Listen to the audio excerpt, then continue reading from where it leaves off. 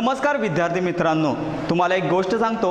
नाशिक जिल्ह्यातील सावरपाडा या आदिवासी भागामध्ये राहणारी एक मुलगी धावण्याच्या स्पर्धेमध्ये नावारूपाला आली. शंभर मीटर नव्हे तर थेट दहा हजार मीटर स्पर्धेमध्ये तिने क्रमांक मिळवला. एकेकाळी सोन्याचा धूर निघणाऱ्या या भारत देशामध्ये एका ग्रामीण भागातून एक मुलगी एवढी कशी काय धावू शकते? कोण आहे ती मुलगी? तुम्हाला असा प्रश्न पडलाच असेल ना?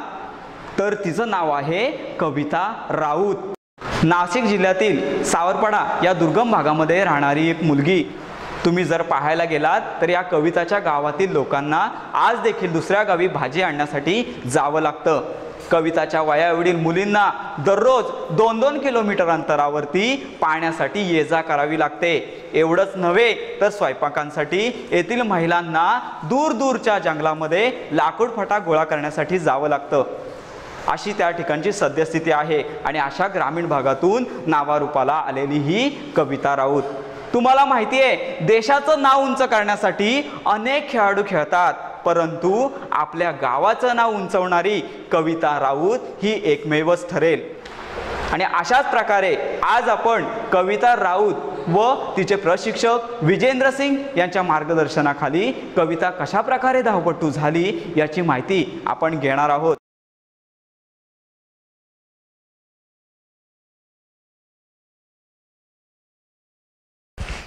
नमस्कार विद्यार्थी मित्रांनो आजच्या तासिकेला आपण पाठ क्रमांक चार सावरपाडा एक्सप्रेस कविता राऊत हा पाठ आपण अभ्यासणार आहोत. आणि हा पाठ ज्यांनी लिहिला अशा लेखकांचं नाव आहे लेखक संतोष साबळे.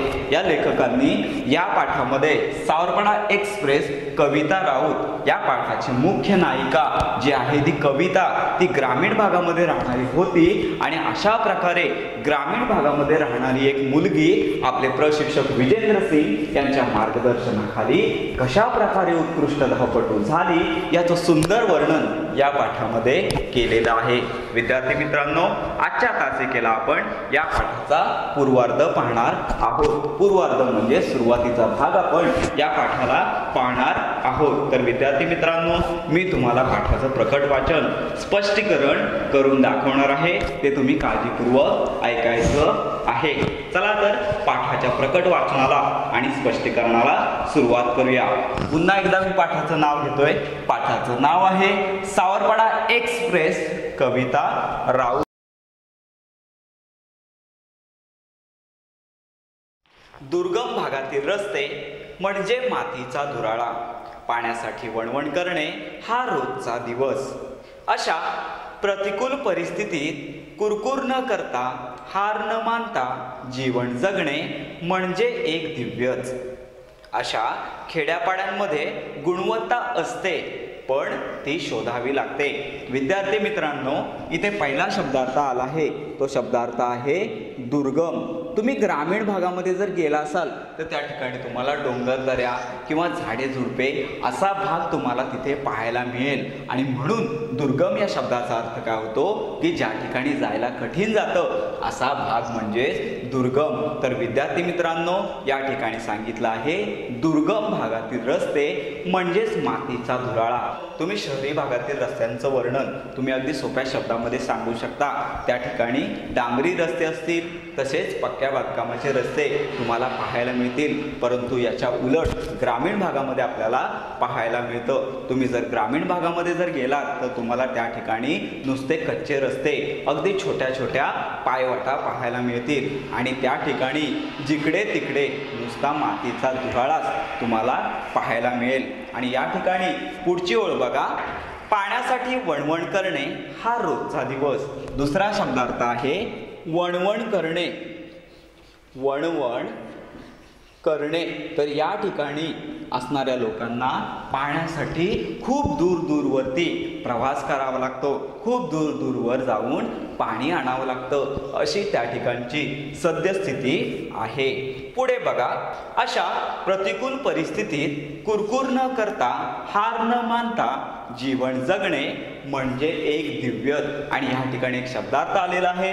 तो बघा विद्यार्थी मित्रांनो की कुरकुर तर या ठिकाणी कुरकुर न करणे म्हणजेच या ठिकाणची लोक आहेत ती कोणत्याही प्रकारची तक्रार न करता कुरकुर म्हणजे तक्रार. तर या ठिकाणची जी लोक आहेत या ठिकाणी राहणारी जी लोक आहेत ती कोणत्याही प्रकारची कुरकुर न करता जे जीवन जगत आहेत ते एक प्रकारचं दिव्यच म्हणावं लागेल. बघा विद्यार्थी मित्रांनो तर या डोंगर भागावरती राहणारी जी लोक आहेत ती दूर दूरवर पाण्यासाठी प्रवास करत असतात. आणि अशा ठिकाणी राहणारी लोक कोणत्याही प्रकारची तक्रार न करता जे जीवन जगत आहेत कोणतीही हार न मानता जे जीवन जगत आहेत ते एक प्रकारचं दिव्यच म्हणावं लागेल. आणि बघा विद्यार्थी मित्रांनो अशा प्रकारचं कठीण परिस्थितीमध्ये या ग्रामीण या आदिवासी भागांमध्ये राहणारी लोक आज देखील जीवन जगत आहेत.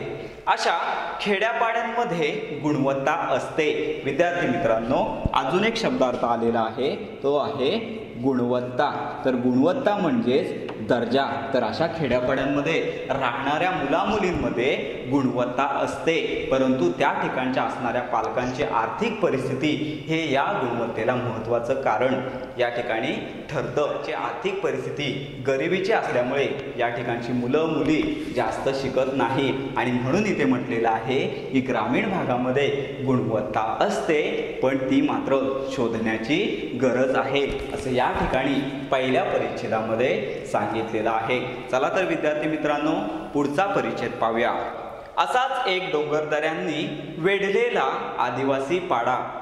पाण्याच्या शोधासाठी तिथे मैलोनमैल भटकंती करावी लागे. बघा विद्यार्थी मित्रांनो इथे एक शब्दार्थ आलेला आहे. त्याचं नाव आहे पाडा.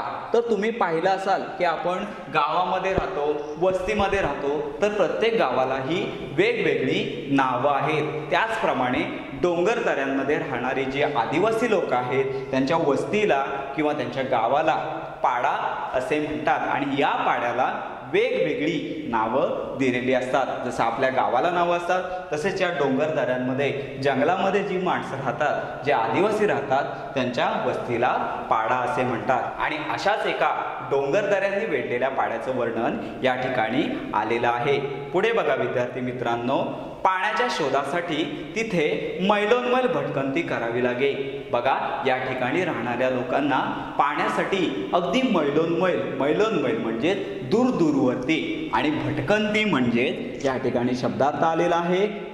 भटकंती तर भटकंती म्हणजे या लोकांना पाण्याच्या शोधासाठी दूर दूरवरती प्रवास करावा लागतो. भटकंती करणे म्हणजे पाण्यासाठी खूप दूर दूरवरती फिरणे असा अर्थ इथे होतो. बघा अशी कठीण परिस्थिती त्या आदिवासी पाड्यावर आपल्याला पाहायला मिळते आणि अशाच पाड्याचं वर्णन या ठिकाणी आलेलं आहे.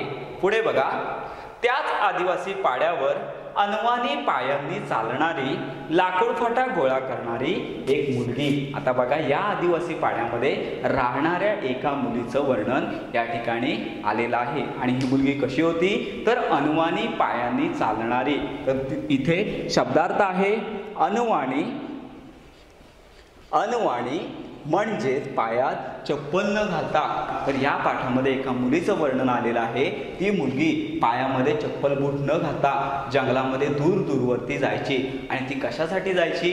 तुम्ही एक छोटंसं जर निरीक्षण केलं की तुमच्या घरामध्ये स्वयंपाक करण्यासाठी गॅस असेल किंवा इलेक्ट्रिक मशीन यांचा वापर केला जात असेल परंतु या ठिकाणी राहणाऱ्या लोकांपर्यंत ह्या तांत्रिक गोष्टी किंवा ह्या मशिनी तर या लोकांपर्यंत अजून देखील या गोष्टी पोचलेल्या नाहीत. तर विद्यार्थी मित्रांनो अनुवाणी म्हणजेच पायात चप्पल न घालता. विद्यार्थी मित्रांनो तुम्हाला जर एखादी गोष्ट शेजारच्या घरातून जर आणायची असेल तर आपण चप्पल बूट घातल्याशिवाय बाहेर पडत नाही. परंतु या पाठातील सावरपाडा एक्सप्रेस कविता राऊत या पाठामध्ये जी मुलगी आहे ती आपल्या घरातील स्वयंपाकासाठी लागणारा लाकूड फटा गोळा करण्यासाठी जंगलामध्ये दूर दूरवर अनवानी पायाने जायची. बघा विद्यार्थी मित्रांनो ही छोटीशी मुलगी पायामध्ये चप्पल बूट न घालता डो ज्या डोंगरामध्ये असेल जंगलामध्ये असेल लाकूड फटा गोळा करण्यासाठी जायची. या ग्रामीण भागामध्ये अजून देखील आपण जे शहरी भागात गॅस वापरतो किंवा इलेक्ट्रिक मशीन वापरतो तर परंतु आज देखील या ठिकाणी या गोष्टी वापरल्या जात नाही. या ठिकाणी राहणारी लोक स्वयंपाकासाठी इंधन म्हणून लाकूड फाटा वापरतात. तर या ठिकाणी अनवानी पायाने चालणारी एक अनोळखी मुलगी तिचं वर्णन या ठिकाणी आलेलं आहे. बघा पुढे काय सांगितलंय. तिने राष्ट्रकुल आणि आशियाई क्रीडा स्पर्धेत भारताचा दबदबा निर्माण केला आणि याच मुलीने या आदिवासी पाड्यावर राहणाऱ्या मुलीने राष्ट्रकुल आणि आशियाई स्पर्धेत भारताचा दबदबा निर्माण केला. तर विद्यार्थी मित्रांनो इथे तुम्ही राष्ट्रकुल व आशियाई स्पर्धा या तुम्हाला माहितीच असतील तरी मी तुम्हाला इथे थोडक्यात सांगणार आहे. तर विद्यार्थी मित्रांनो राष्ट्रकुल आणि आशियाई स्पर्धा म्हणजेच काय? या दोन्ही स्पर्धा दर चार वर्षांनी घडून येतात किंवा दोन्ही स्पर्धा दर चार वर्षांनी भरवल्या जातात. राष्ट्रकुल स्पर्धा म्हणजेच काय? की ब्रिटिशांनी ज्या ज्या देशांवरती राज्य केलं त्या देशांतर्गत या स्पर्धा दर चार वर्षांनी भरवल्या जातात. तसेच आशिया खंडाच्या अंतर्गत जे जे देश येतात उदाहरणार्थ भारत असेल श्रीलंका असेल यांसारख्या देशांच्या अंतर्गत ज्या स्पर्धा भरवल्या जातात त्या स्पर्धांना आशियाई स्पर्धा असे म्हणतात. आदिवासी भागामध्ये राहणारी एक मुलगी आहे तिने काय केलं होतं? राष्ट्रकुल आणि आशियाई क्रीडा स्पर्धेत भारताचा दबदबा निर्माण केला होता. इथे शब्दार्थ आलेला आहे. दबदबा. दबदबा म्हणजेच दरारा निर्माण केला होता. या दोन्ही आंतरराष्ट्रीय स्तरावरच्या ज्या स्पर्धा होत्या त्या स्पर्धेमध्ये भारताचा दरारा निर्माण केला होता. दबदबा निर्माण केला होता. विद्यार्थी मित्रांनो पुढे बघा. तिने राष्ट्रकुल आणि आशियाई क्रीडा स्पर्धेत भारताचा दबदबा निर्माण केला आणि ऑलिम्पिक स्तरावर झेप घेतली. या आंतरराष्ट्रीय धावपटूचे नाव आहे कविता राऊत आणि त्या पाड्याचे नाव आहे सावरपाडा. बघा विद्यार्थी मित्रांनो ज्या मुलीने राष्ट्रकुल आणि आशियाई स्पर्धेमध्ये भारताचा दबदबा दरारा निर्माण केला त्या मुलीचं नाव काय आहे? कविता राऊत. आणि ही कविता ज्या ठिकाणी राहते त्या पाड्याचं त्या गावाचं नाव होतं सावरपाडा. आता तिला एक्सप्रेस का म्हणतात? ते आपण पुढे पाहणार आहोत. विद्यार्थी मित्रांनो अशा प्रकारे या मुलीचं नाव होतं कविता राऊत. पुढे पाहूया. हा पाडा नाशिक जिल्ह्यातील त्र्यंबकेश्वर तालुक्यात आहे. तिचे बालपण निसर्गाच्या सानिध्यात गेले. तिची आजवरची वाटचाल एक दीर्घ साधना बनली आहे. विद्यार्थी मित्रांनो हा जर सावरपाडा जर पाहायला गेलो तर महाराष्ट्रामध्ये अनेक जिल्हे आहेत. त्या जिल्ह्यामधील नाशिक जिल्ह्यातील त्र्यंबकेश्वर तालुक्यामध्ये हा पाडा आहे. आणि विद्यार्थी मित्रांनो हा जो सावरपाडा आहे तो डोंगर दऱ्यांनी वेढलेल्या अशा भागामध्ये हा पाडा आपल्याला पाहायला मिळतो. आणि अशाच प्रकारे या कविता राऊतचं संपूर्ण जीवन या डोंगर दऱ्यांमध्ये गेला आहे आणि कविताने अगदी बालपणापासून दुर्गम भागात राहणारी घरची परिस्थिती गरिबीची आणि अशा प्रकारे तिने जी मेहनत घेतली तर ती एक प्रकारची साधनाच म्हणावी लागेल. आणि म्हणून इथे शब्द आलेला आहे साधना. तर साधनाच म्हणजे तपश्चर्या म्हणावी लागेल. म्हणजेच कविताने बालपणापासून आतापर्यंत जी मेहनत घेतलेली आहे जी वाटचाल केलेली आहे ती एक प्रकारची तपश्चर्याच म्हणावी लागेल असं इथे सांगितलेलं आहे. अशा प्रकारे आपण पहिले दोन परिच्छेद पाहिले. विद्यार्थी मित्रांनो पुढे पाहूया. राष्ट्रकुल क्रीडा स्पर्धेत कांस्य आणि आशियाई क्रीडा स्पर्धेत रौप्य व कांस्य अशी पदके कविताने पटकावली. तर अशा प्रकारे राष्ट्रकुल व आशियाई क्रीडा स्पर्धेमध्ये कविताने कोणकोणती पदकं मिळवली याचं वर्णन आलेलं आहे. आणि तिने राष्ट्रकुल स्पर्धेमध्ये कांस्य पदक मिळवलं ज्याला आपण म्हणतो ब्रॉन्झ मेडल. आणि आशियाई क्रीडा स्पर्धेत रौप्य म्हणजेच त्याला आपण म्हणतो सिल्वर मेडल. आणि कांस्य म्हणजेच ब्रॉन्झ मेडल अशी पदकं अशा पदकांची कमाई या कविताने केली होती. अगदी छान अशी कामगिरी या कविताने या ठिकाणी केलेली होती. पुढे बघा.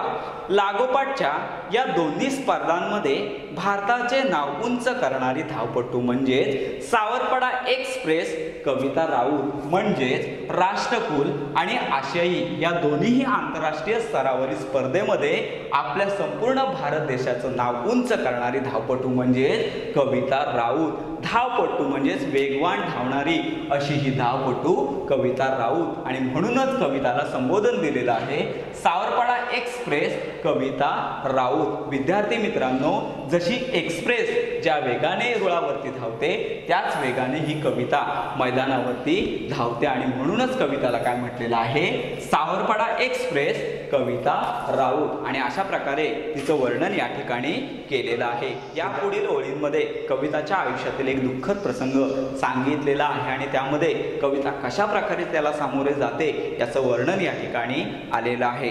बघा चीनमधील गुआंगजऊ येथे झालेल्या आशियाई क्रीडा स्पर्धेत दहा हजार मीटर धावण्यात कविताचे सुवर्णपदक अवघ्या सेकंदाने हुकले बघा चीनमधील गुआंगजौ हे शहर आहे. या शहरामध्ये धावण्याची स्पर्धा झाली. दहा हजार मीटर धावण्याची स्पर्धा झाली आणि ह्या स्पर्धेत ही कविता इतर स्पर्धकांप्रमाणे सहभागी झाली होती.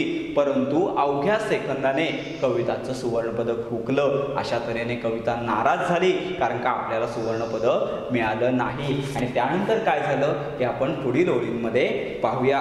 पण त्या प्रसंगी कविताची समजूत तिच्या आईने काढली. बघा अशावेळी कविता नाराज झाली होती खालावली होती आणि अशावेळी सर्वात महत्त्वाची भूमिका जिने बजावली ती कविताची आई. आणि अशा प्रकारे कविताच्या आईने कविताची समजूत काढली आणि कविता पुन्हा नवीन स्पर्धेसाठी त्या ठिकाणी पुन्हा नव्या जोमाने तयार झालेली आहे. पुढे बघा. आईच्या शब्दांनी कविताला दिलासा मिळाला आणि आईने जी कविताची समजूत काढली जे कविताला समजवलं त्यामुळे कविताला एक वेगळ्याच प्रकारचा दिलासा मिळाला. आणि या ठिकाणी दिलासा मिळणे अशा ठिकाणी दिलासा मिळणे म्हणजेच काय आहे?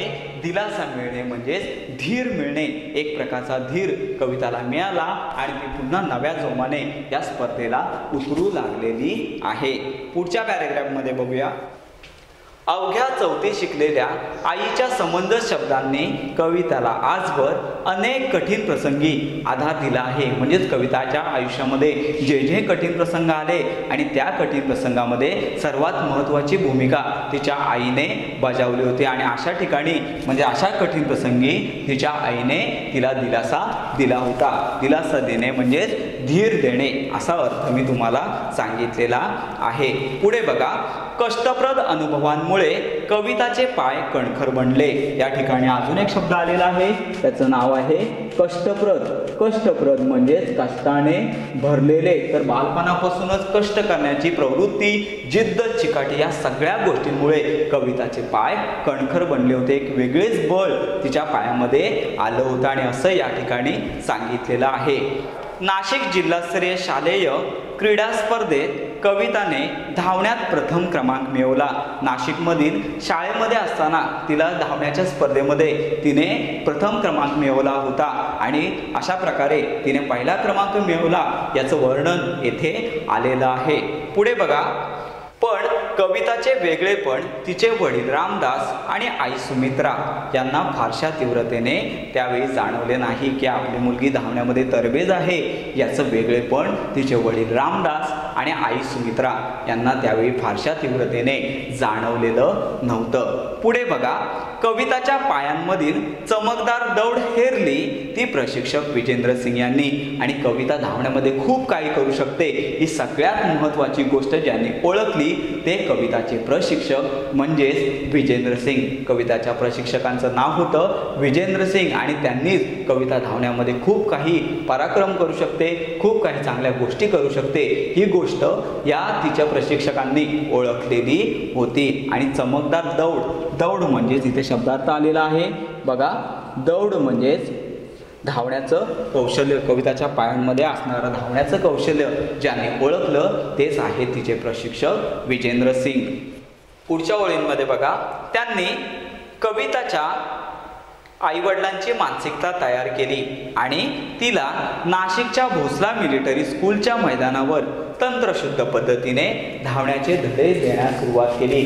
आणि ज्यावेळी कविताच्या पायामध्ये असणारी चमकदार दौड तिचे प्रशिक्षक विजेंद्र सिंग यांनी ज्यावेळी ओळखली त्यावेळी या कविताच्या आईवडिलांची समजूत काढली की तुमची मुलगी धावण्यामध्ये खूप काही करू शकते आणि त्यांची मानसिकता तयार केली. आणि नाशिकच्या भोसला मिलिटरी स्कूलमध्ये किंवा ज्या ठिकाणी ती शाळेमध्ये जायची याच ठिकाणी तिला तंत्रशुद्ध पद्धतीने शिक्षणाचे म्हणजे धावण्याचे धडे देण्यास सुरुवात केली. आणि आता कविता आपले प्रशिक्षक विजेंद्र सिंग यांच्या मार्गदर्शनाखाली धावण्याचे धडे घेऊ लागलेली आहे. आता कविताच्या स्पर्धेमध्ये किंवा धावण्याच्या सरावात सुरुवात झालेली आहे आणि त्यामध्ये येणाऱ्या अडचणींचं वर्णन पुढे केलेलं आहे. बघा बूट घालून धावणे कविताला अवघड वाटायचे. कारण लहानपणापासून अनवाणी धावण्याची तिला सवय होती. विजेंद्र सिंग यांनी तिच्याकडून बूट घालून धावण्याचा सराव नियमितपणे करून घेतला. बघा विद्यार्थी मित्रांनो अगदी लहानपणापासूनच अनवाणी पायांनी म्हणजे पायात चप्पल बूट न घालता जंगलामध्ये लाकूड फटा गोळा करण्यासाठी जाणारी ही मुलगी ज्यावेळी तिचे प्रशिक्षक विजेंद्र सिंग यांच्या मार्गदर्शनाखाली बूट घालून धावण्याचा सराव करू लागली त्यावेळी तिला सुरुवातीला खूप अडचणी येऊ लागल्या.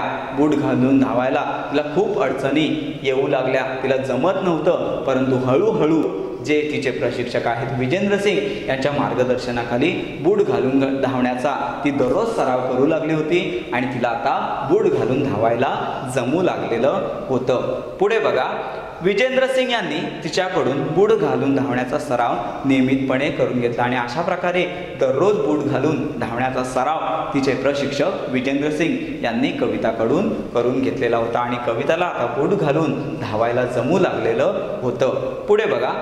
हिऱ्याला पैलू पाडल्यावर त्याचे तेज अधिकच फैलावते तसे तिच्या बाबतीत झाले.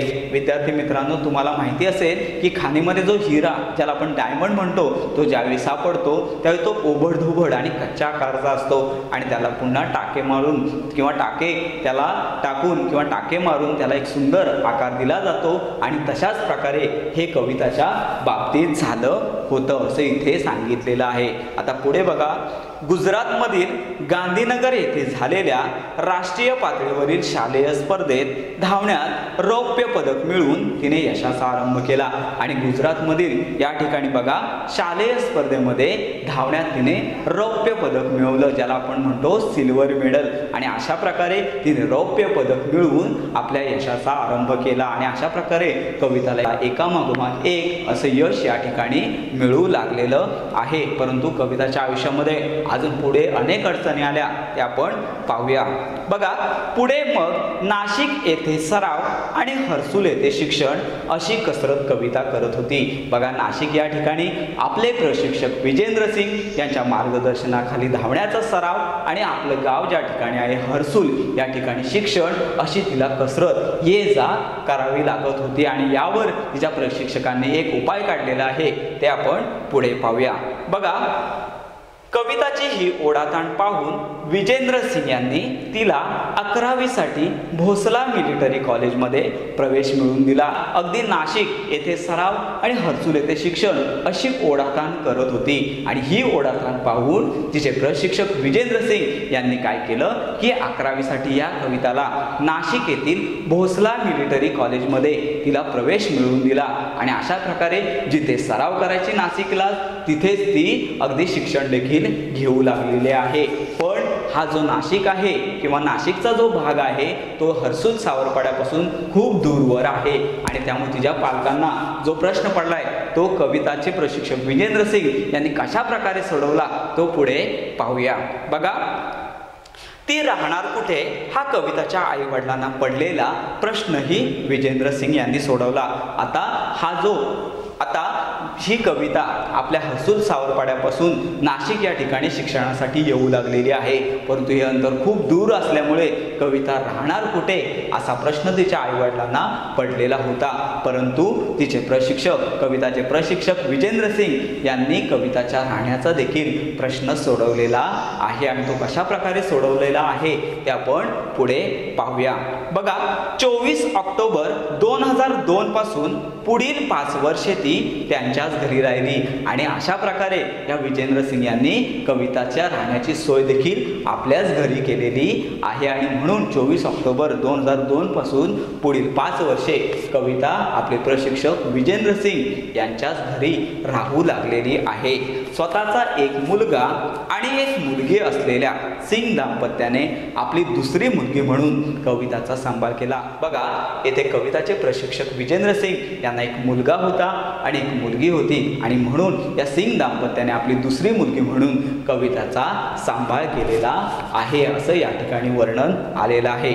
बघा पुढे तिच्या धावण्याच्या गतीकडे विजेंद्र सिंग यांनी लक्ष पुरवले. आणि त्याची प्रचिती म्हणजेच कविताचे यश. आणि अशा प्रकारे आता कविता विजेंद्र सिंग यांच्या घरी राहू लागलेली आहे.